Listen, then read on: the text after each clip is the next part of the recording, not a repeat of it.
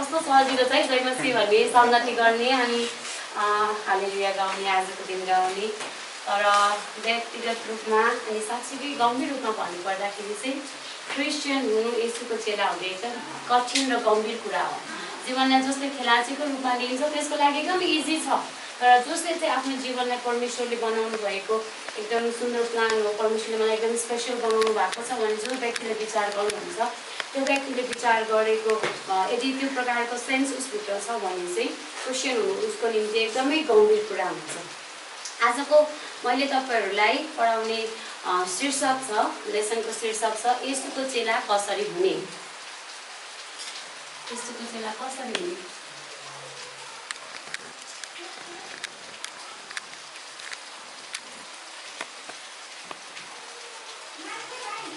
मैले यो प्रश्न लेख्दै गर्नु हुँदाखेरि म तपाईँहरूलाई प्रश्न सोध्न चाहन्छु। त तपाईँ कसरी परमेश्वरलाई चिन्नुभयो? तपाईँले चाहिँ व्यक्तिगत रूपमा सरिता आन्टी अनिता आन्टी सरहरू सरहरूले त के अरे हामीलाई क्लासमा भन्नुभएको थियो। सानो बेलादेखि सन्डे स्कुलमा सेकेन्ड थर्ड जेनेरेसन होला सायद उहाँहरू। परमेश्वरमा विश्वास गरेको। अनि हामीहरू चाहिँ फर्स्ट हौँ कि? अनि म तपाईँहरूलाई प्रश्न सोध्न चाहन्छु। तपाईँहरूले चाहिँ परमेश्वरलाई कसरी चिन्नुभयो? कसरी उहाँको चेला आउनुभयो अटोमेटिकली ट्याक्क परमेश्वरले यस्तो गर्ने बित्तिकै विश्वासी बनाइदिनु भयो कि तपाईँहरूको जीवनमा कुनै घटना घट्यो कि कुनै व्यक्तिले आएर तपाईँहरूलाई परमेश्वरको असल सन्देश तपाईँहरूमा बाँड्नु भयो कि कुन त्यस्तो चिजले तपाईँहरूको जीवनमा प्रभाव पार्यो कि मैले चाहिँ यो यसु भन्ने व्यक्तिलाई उनको शिक्षालाई पछ्याउनु पर्छ भन्ने विचार म तपाईँबाट सुन्न चाहन्छु एन्सर एकदम सर्ट एन्ड स्विट एन्सर दिनु होला है धन्यवाद। मौका दिनुभएको लागि विशेष गरिकन म कसरी चिनेँ भने चाहिँ म चाहिँ एउटा घटनाद्वारा नै तपाईँलाई चिनेको हो। किनभने म मृत्युको मुखमा पुगेको थिएँ त्यस्तो अवस्थामा चाहिँ मैले चाहिँ तपाईँलाई अनि भेटेँ अनि त्यसपछि मैले तपाईँलाई चाहिँ चिनेको छु।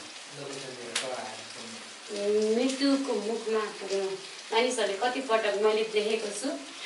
जब आफ्नो जीवनमा म्याक्सिमम् प्रब्लम हुन्छ उसले भनेको कुरा उसको डिमान्ड पुरा हुँदैन उसले भनेको कुरा अरूले सुन्दैन मान्छे अब मलाई लाइफ एकदम एकदम के भन्छ मेरो जिन्दगी मलाई बोझ भइसक्यो अब म बाँच्न चाहदिनँ।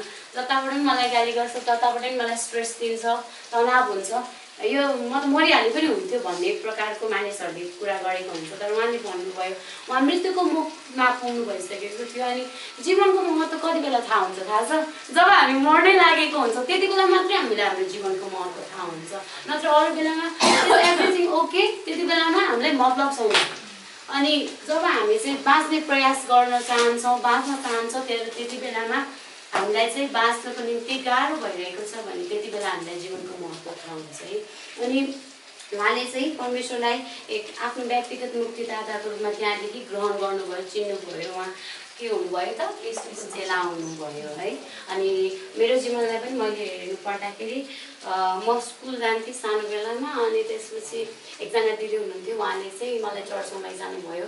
अनि उहाँले मलाई एकचोटि चर्चमा लैजानुभयो चर्चबाट मलाई एउटा बुक दिनुभयो। मलाई त्यो बुक एकदम राम्रो लाग्यो। मैले एउटा स्याटरडेमै त्यो पुरै बुक पढाएर पढेर सिद्ध्याइदिएँ क्या किनभने एकदम राम्रो लाग्यो त्यहाँदेखिको कुराहरू। अनि जब म फाइभ क्लासमा पुगेँ त्यसपछि मेरो स्कुलमा नयाँ साथी आएको थियो अनि हामी चाहिँ गर्ल्स स्कुलमा पढ्थ्यौँ। त्यसपछि उसले के भन्यो मेरो त घरको नजिकमा चर्च छ जाउँ तिमी पनि जाउँ अनि हामी त्यहाँ चाहिँ सङ्गति गर्नुपर्छ। यसरी उसले मलाई चाहिँ परमेश्वरमा डोराउने काम गर्यो। यद्यपि मैले परमेश्वर चाहिँ असल हो भनेर चिनेको थिएँ। म चाहिँ निरन्तर मण्डली जाँदैन थिएँ किनकि मण्डली कहाँ जाने के गर्ने मलाई थाहा थिएन। अनि त्यो त्यसपछि मेरो साथीसँग म मण्डली गएँ। अनि त्यहाँदेखि चाहिँ मैले चाहिँ परमेश्वरलाई निरन्तर रूपमा पछ्याउने एकदम गम्भीर अठोट गरेँ। अनि जब मैले विश्वास गरेँ त्यसपछि मेरो बाबा आमाले सबैले विश्वास गर्नुभयो। अनि परमेश्वरबाट अब हामीले के पाउँछौँ त? परमेश्वरमा हामी गयौँ जान त गयौँ उहाँको अब चेला पनि भयौँ होइन? हामीले उहाँबाट पाउने के हो त? धेरै मानिसहरूले मलाई चर्चमा जाने व्यक्तिहरूले है यो पाउँछ अरे के? पैसा एक नम्बरमा। अनि अर्को छ सहायता। अनि त्यसपछि अर्को छ विदेशमा जान पाउँछ अरे। यो सबै हावा हो है। वास्तवमा भन्नुपर्दाखेरि चाहिँ संसारको मानिसहरूले यदि तपाईँहरूले तरकारी कस्तो पाकेको छ के पुग्यो पुगेन खानु भएन टेस्ट गर्नु भएन चम्चाले लिएर टेस्ट गर्नु भएन भने कि तपाईँहरूलाई थाहा छ त्यो तरकारी कस्तो बनेको हुन्छ भनेर। अनि म त्यो व्यक्तिहरूलाई पनि त्यही भन्छु तपाईँ एकचोटि चर्चमा आउनुहोस् हेर्नुहोस् अनि त्यसपछि राम्रोसँग बुझ्नुहोस् अनि तपाईँलाई थाहा हुन्छ यो पाइन्छ कि पाइँदैन यो यो यो हाम्रो क्रिस्चियनहरूको लाइफमा यो पोसिबल कुरा हो कि इम्पोसिबल कुरा हो? मैले उनीहरूलाई त्यसरी एन्सर दिन्छु कि। किनभने अन्त आन्टीको घरमा अङ्कल यस्तो हुनुहुन्छ ठुला यस्तो छ कान्छा यस्तो छ भनेर म उहाँको घरमै गएको छुइनँ। मैले उहाँलाई चिन्दै चिन्दिनँ। उहाँको छोराहरू मलाई थाहै छैन। अङ्कल म देखेकै छुइनँ। अनि म अरूहरूलाई चाहिँ भन्दै गयो भने म अन्तिममा के हुन्छ? हावा निस्किन्छु नि। अनि त्यसैले म तपाईँहरूलाई भन्न चाहन्छु यशुको चेला भइसकेपछि हामीले पाउने पहिलो एक नम्बरको हाम्रो महान उपलब्धि चाहिँ के हो? मुक्ति। अघि भर्खरै हामीले पढ्यौँ नि होइन? एफएससीको पुस्तक दुई अध्यायको एकदेखि दससम्म पढ्दाखेरि हामीले त्यहाँ एउटा कुरालाई तपाईँहरूले नोटिस गर्नुभयो कि भएन? म तपाईँहरूलाई चाहिँ फेरि पनि म एकदेखि दससम्म पढेर सुनाउन चाहन्छु। तपाईँहरूले मैले पढिदिएको बेलामा एकदम ध्यान दिएर आफ्नो बाइबलमा हेर्नु होला है। म चाहिँ तपाईँहरूलाई बेला बेलामा चेक गर्छु तपाईँहरूले बाइबलमा ध्यान दिनुभएको छ कि छैन। किनकि वचनलाई हामीले आदर साथ पढ्नुपर्ने हुन्छ अनि मैले पढ्दैछु तर म त त्यति स्पेसल छुइनँ तर परमेश्वरको वचन चाहिँ एकदम महत्त्वपूर्ण भएको कारण तपाईँहरूले आफ्नो ध्यान परमेश्वरको वचनमा लगाउनु होला। शीर्षकमा चाहिँ लेखेको छ पुरानो र नयाँ जीवन।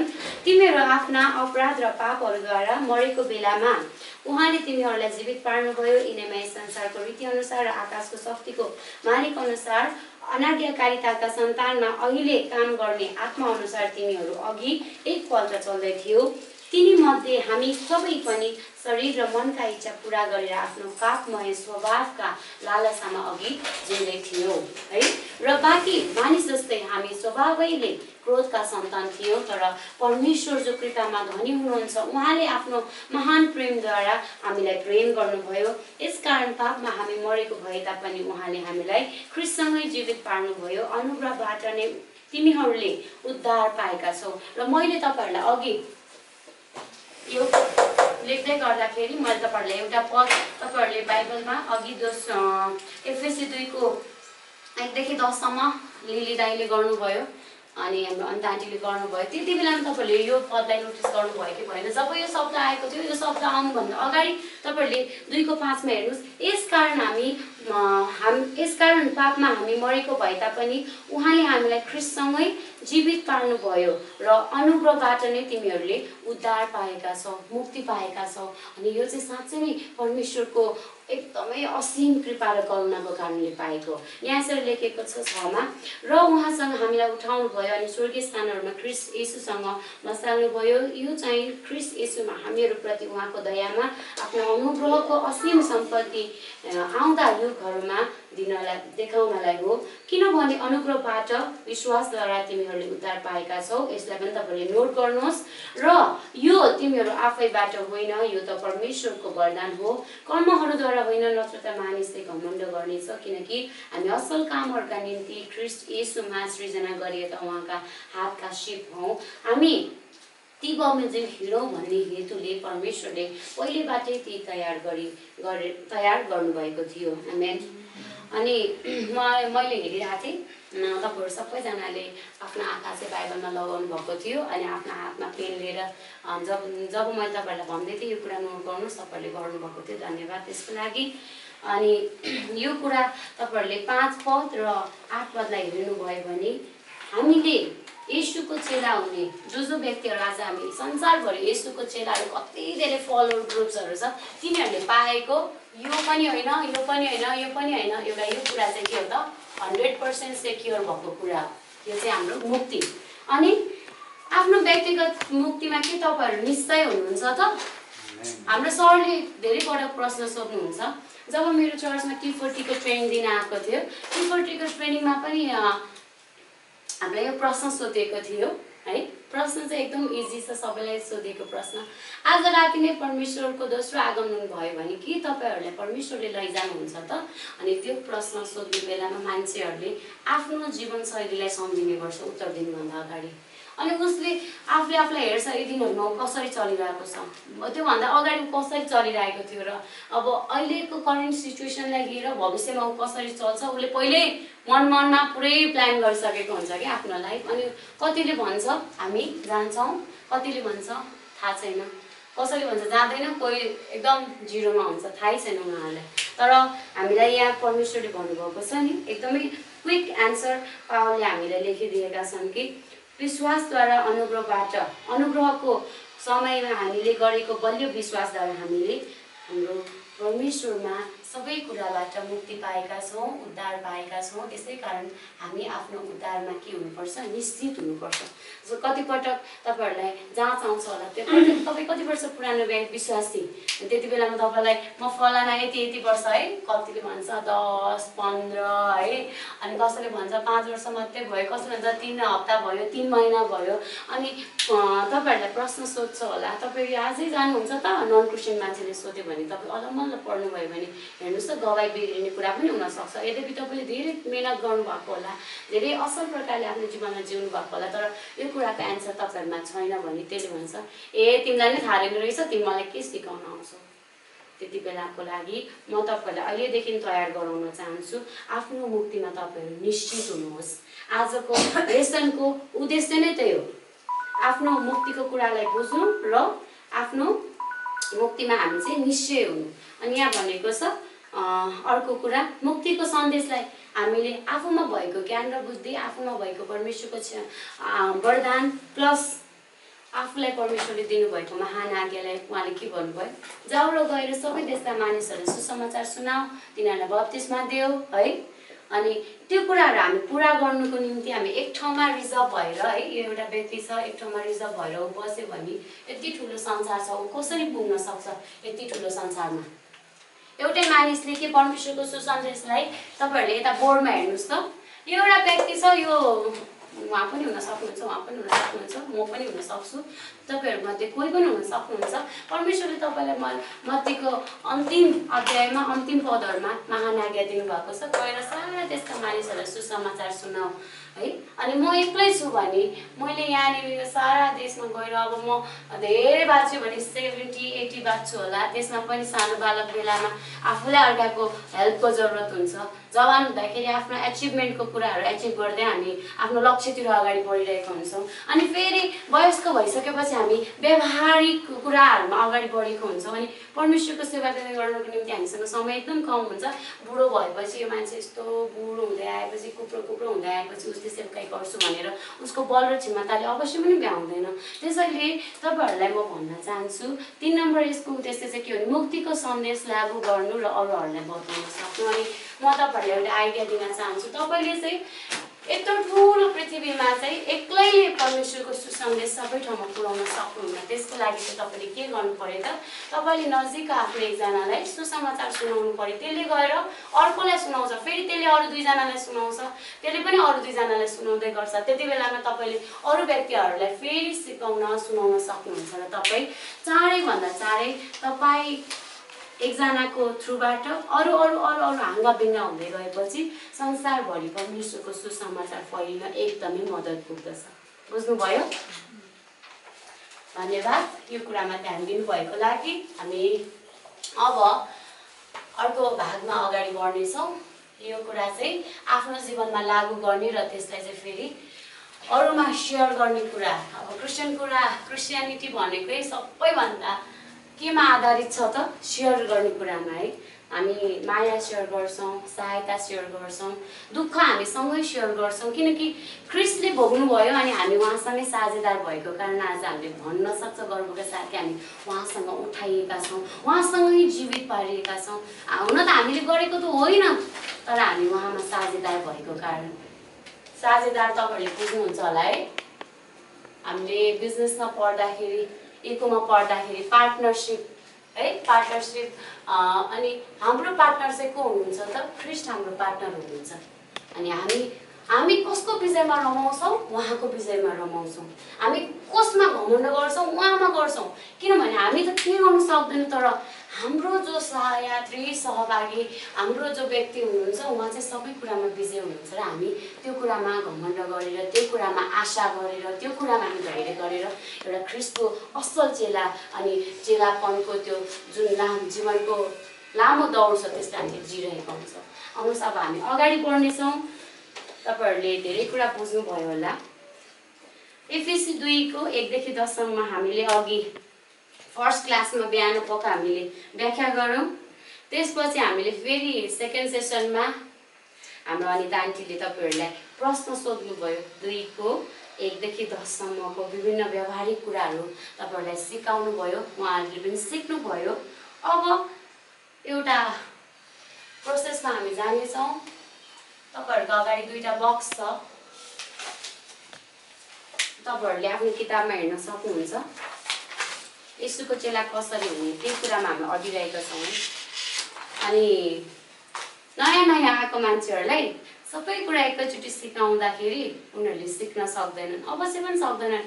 नर्सरी क्लासमा पढ्ने बच्चालाई हामीले टु थ्री क्लासको प्रब्लमहरू सल्भ गर्न दियो भने ऊ के हुन्छ? पजल हुन्छ। एकदम ब्ल्याङ्क केही पनि थाहा हुँदैन। त्यस्तै हामी पनि नयाँ विश्वासीहरूलाई क्रिस यसुको चेला कसरी हुने भनेर कसैलाई सिकाउन चाहन्छौँ अथवा कुनै परमेश्वरलाई चिनेकै व्यक्तिहरूलाई पनि आफ्नै घर परिवारमा जो अलिकति परमेश्वरलाई ढिलो चिनेको छ तिनीहरूलाई हामी क्रिस यसुको चेला कसरी हुने भनेर सिकाउन चाहँदछौँ। भने चाहन्छौँ भने तपाईँहरूले आजको क्लास एकदम ध्यान दिएर सिक्ने प्रयास गर्नुहोला। म कसरी जिउँछु? म कसरी जिउँछु हाम्रो? यहाँ हेर्नुहोस् व्यवहार र मेरो जीवनलाई के के कुराले नियन्त्रण गरेको छ। अघि हामीले सिक्दै थियौँ तिनवटा कुराहरू जसले हाम्रो सारा पृथ्वीमा भएका मानिसहरूलाई के कुराले नियन्त्रण गरेको छ भनेर तिनवटा थोकहरू तपाईँहरूलाई थाहा छँदैछ। एक नम्बरमा हाम्रो लिली दाइले हामीलाई एन्सर दिनुहुन्छ। के कुरा थियो भन्नुहोस् त? तिनवटा स्रोतहरू थिए जसले गर्दा चाहिँ मानिसहरूलाई चाहिँ पुरा पृथ्वीका मानिसहरूलाई चाहिँ त्यो तिनवटा कुराले चाहिँ जक्कडेर राखेको छ। परमेश्वरतिर बढ्नु अगाडि बढ्नु एकदमै बाधा पुऱ्याएको छ। अनि नयाँ मान्छेहरू अथवा अविश्वासीहरू अर्को भाषामा भन्नु पर्दा तिनीहरूलाई चाहिँ परमेश्वरमा आउनुदेखि रोकेको छ। त्यो तिनवटा बुलेट पोइन्टहरू अघि तपाईँले नै सिकाउनु भएको थियो। म सबै सहभागीबाट उत्तर चाहन्छु। दाई पहिलो कुरा के थियो भन्नुहोस् कि हजुर। पहिलो भन्नुहोस्। संसारिक रीति। यहाँ हेर्नुहोस् तपाईँको व्यवहार सांसारिक व्यक्तिहरूको जस्तै छ भने त्यसले नै तपाईँलाई कन्ट्रोल गरेर राखेको हुन्छ। लेख्दाखेरि रस्व दीर्घमा अलिकति मिस्टेक भयो भने आइएम सरी किनभने लेख्दा लेख्दा पास लेख्दा यस्तै हुन्छ। अनि आन्टी पाप स्वभाव पाप स्वभाव हामी बाई बोर्न नेचर पाप स्वभावमा जन्मेका छौँ है। अनि त्यसपछि त्यसै कारणले चाहिँ हामीलाई कतिपटक परमेश्वरको वचन यो हो भन्ने थाहा हुँदा हुँदै हामी आफ्नो बडीको कन्ट्रोलमा हुन्छौँ।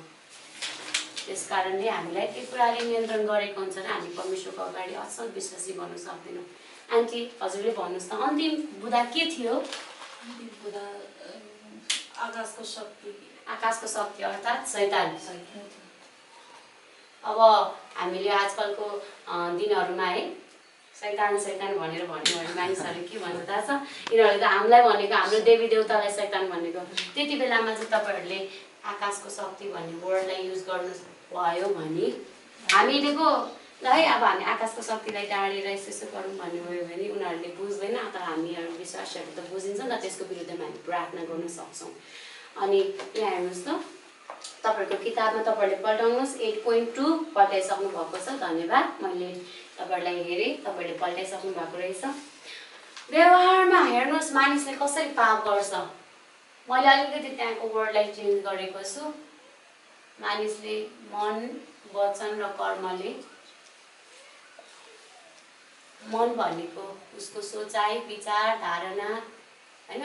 कस्तो उसले विचार गर्छ सोच्छ एकअर्काप्रति उसको कन्सेप्ट दिमागमा कस्तो छ?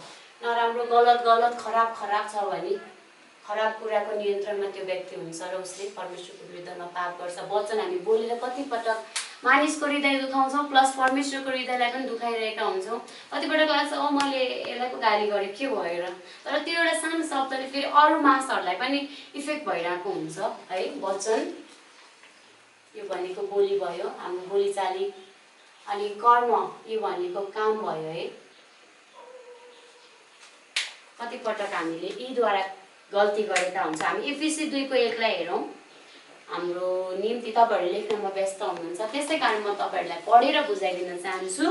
तिमीहरू आफ्नो अपराध र पापहरूद्वारा मरेको बेलामा उहाँले तिमीहरूलाई जीवित पार्नुभयो। हेर्नुहोस् त। आफ्नो पाप र अपराधको कारण हामी के थियौँ? मरेको थियौँ। यहाँ हेर्नुहोस् कस्तो कस्तो पाप र अपराध सोचाइ विचार धारणा काम गराइ हरेक कुराले हामी परमेश्वरको अगाडि के थियौँ त? मरिसकेका थियौँ। आत्मिक रूपमा हाम्रो मृत्यु भइसकेको थियो। अनि अर्को कुरा छ हामी नियन्त्रणको बारेमा पनि हेर्नेछौँ। त्यो यदि हामी त्यस्तो कामहरू गर्छौँ भने के चिजले हामीलाई नियन्त्रण गरेको हुन्छ त? अघि भर्खर हामीले तिनवटा पोइन्ट लेखेका छौँ। संसारले संसारको रीतिरिवाज चालचलन है? अनि त्यसपछि आकाशको शक्तिको मालिक शैतानले र पाप स्वभावमा हामी परेको कारण अब फेरि हामी सांसारिक रीति होइन? त्यसपछि फेरि पाप स्वभाव अनि अर्को छ शैतान। यसको अन्डरमा परेको छौँ। अनि दान्टी आउनुहोस् त प्लिज एकचोटि। सर म एकचोटि हजुरको ब्याग युज गर्न चाहन्छु है। अगाडि बसिदिनुहोस् त। यो पक्रिनु आन्टी। सरको पनि है। यो पनि बोक्नु त। कहाँ कहाँ अटाउन सक्नुहुन्छ बोक्नु। सबैजनाको ब्याग अब तपाईँलाई बोकाएर बिक्री गर्न राख्नु पऱ्यो। मलाई एकदम स माफ गरिदिनु आन्टी। अहिले एकैछिन हजुरलाई इक्जाम्पल दिनको लागि मात्रै। अब सबैजनाको बोझ मैले उहाँलाई दिएँ भने के हुन्छ भन्नु त? अझै म फेरि ठुल्ठुलो मोटो मोटो बाइबल पनि उहाँको यता यता राख्यो भने उहाँ अलरेडी यति पातलो हुनुहुन्छ ठिकै हेल्थमा हेल्दी कन्डिसनमा हुनुहुन्छ। मैले उहाँलाई अझै यो एकदम भयभरको सबै चिज उहाँलाई बोझ बनाइदियो भने के उहाँले आफूले आफूलाई हिँडाउन चलाउन सक्नुहुन्छ त? तपाईँहरू विचार गर्नुहोस् त। सक्नुहुन्न नि। तर कसरी सकिन्छ त? कसैको सहायताद्वारा। हो किन भन्नुहोस् त? अब म उहाँलाई मद्दत गर्दैछु। उहाँलाई म चाँडैभन्दा चाँडै यो कुराबाट छुटकारा दिन चाहन्छु। अनि गएर बस्नु साइन्टी अनि हेर्नुहोस् त। हामी कसै न कसैको सहायता बिना आफूले आफूलाई अदल बदल गर्न सक्दैनौँ आफ्नो समस्याबाट विजय पनि प्राप्त गर्न सक्दैनौँ। किन भन्नुहोस् त? एकदमै सिम्पल एन्सर छ किनकि हामी संसारिक रीतिरिवाज पाप स्वभाव र शैतानको नियन्त्रणमा छौँ। हामीले विचार गर्नुपर्ने हुन्छ। हामी दोस्रो पोइन्टमा जानेछौँ। एक पोइन्टमा हामीले यो गऱ्यौँ। तपाईँहरूको बुकमा भएको एट पोइन्ट थ्री पेज नम्बरमा तपाईँहरूले हेर्नुहोस्। यस्तोको चेला कसरी हुने भन्ने दोस्रो व्यावहारिक कुरा यहाँ सिकाइएको छ। हामी त्यसलाई अध्ययन गर्नेछौँ अनि अगाडि बढ्नेछौँ। तपाईँहरूले हेर्न सक्नुहुन्छ है अघि हामीले भन्यौँ मन वचन मन वचन र कर्मले काम शब्द र विचारले हामीले पाप गरेका हुन्छौँ। अनि आफूले चाहिँ आफैले आफूलाई हामी पापी संसारमा भएको कारण शैतान र पाप स्वभावको अधीनमा परेको कारण